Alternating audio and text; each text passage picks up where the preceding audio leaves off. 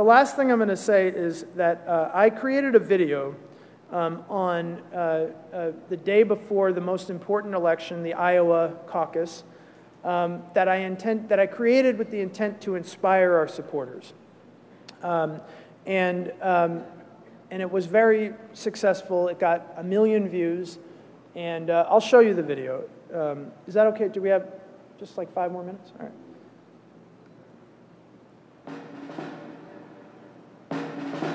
Now, even as we speak, there are those who are preparing to divide us the spin masters, the negative ad peddlers, who embrace the politics of anything goes.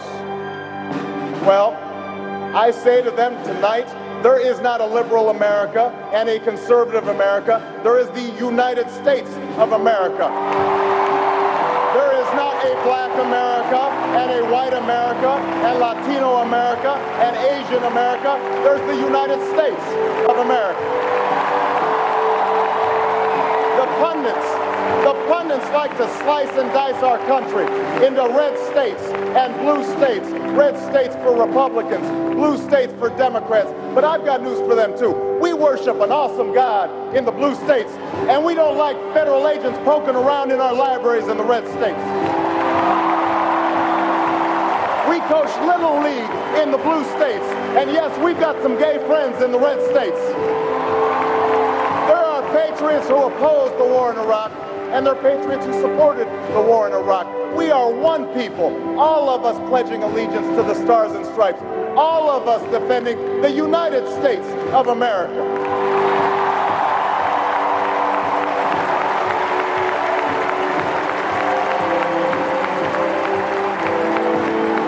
In the end, in the end, in the end, that's what this election is about.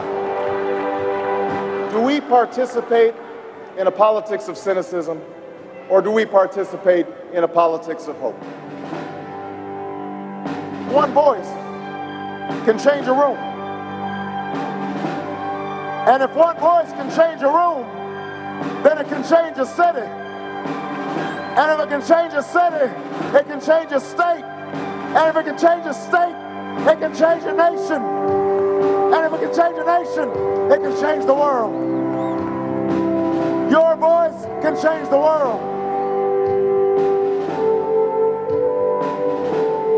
So hopefully you could hear the audio. He said, One voice can change the world. Your voice can change the world. So basically, what I did with this video is that I took two of his most inspiring speeches and then I took footage of the biggest crowds he ever had up to that point in the campaign. And then I put music that I found on the internet um, uh, that I thought was inspiring, and I, and I put it all together. And I was trying to create a viral video that would, uh, that would be, you know, mobilize people to go out and, and volunteer and donate.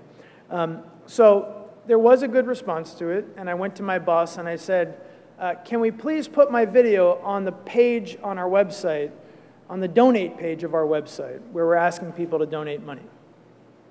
Uh, and he thought about it for a minute and he said, Well, I'll tell you what, we will do a test. And I said, Why do we need to do a test? I got a million video, uh, I got a million views for this video. Clearly people love it. Why do we need to do a test? Why can't we just put it on the donate page? He said, Well, let's do a test.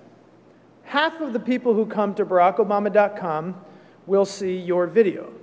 The other half of the people who come to barackobama.com will see this photo that I think is pretty boring of the Obama family hugging, looking very nice and friendly. Um, so, which performed better?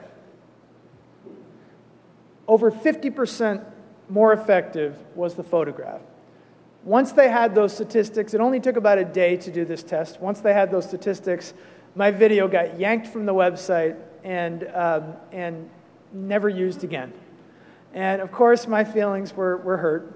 Um, and, uh, you know, and, and sometimes I think to this day, you know, it's one of the great mysteries um, of my life. Sometimes late at night, I stay up and I think, you know, does God exist and why didn't my video do better than the, than the photo? Um, but, um, but it was an important lesson um, because I realized never be so arrogant that you think that the message that you came up with is the best message. Try out different messages. Listen to what your supporters, the feedback that your supporters are giving you. Maybe a better message is going to be, is going to be coming from the rank and file, is going to be coming from the supporters than is coming from the people at the top of the organization. Always listen, always think like a scientist and combine the kind of creative inspiration of a poet with the rigorous science of a scientist. Um, so we were able to build these meaningful relationships. We mobilized people to take concrete actions, and they were able to make history. And now it's your turn. So uh, stay in touch. Uh, you can contact me this way. We're going to have time for a few questions. And before we do that, I just want to say one thing. Um, my, um, hopefully, this isn't a question that's already going to be asked, but um, some people have already asked me, what's, what's, what's my advice um, to um, the cooperative movement to help grow um, the movement?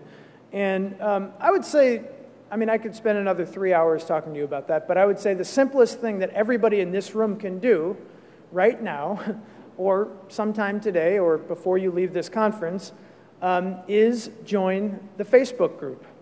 Um, and then you can go back and talk to your members and, and, and encourage them to join the Facebook group. I heard last night that there are 1 billion members of cooperatives around the world.